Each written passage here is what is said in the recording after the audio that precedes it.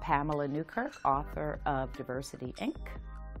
Diversity, the, the way the term is used today, is sort of a feel good, we are the world, inclusive, everyone is at the table. In my book, I am specifically looking at racial diversity because I think racial diversity encompasses all of those other categories, but it's often now kind of left out of the conversation, and America has not quite um, addressed that racial breach. And so I wanted to look at how far we have come in diversifying mainly the workplaces of America over the past 50 years when this term or this idea of racial equality has been of paramount concern. At least it's been a topic of conversation for my entire career. I wanted to look at the tension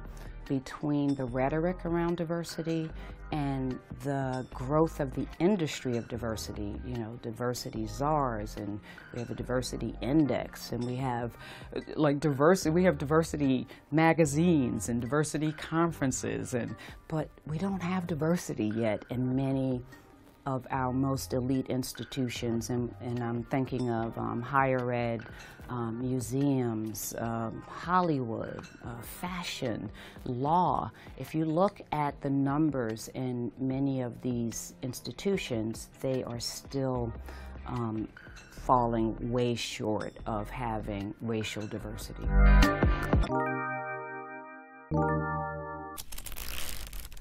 Hachette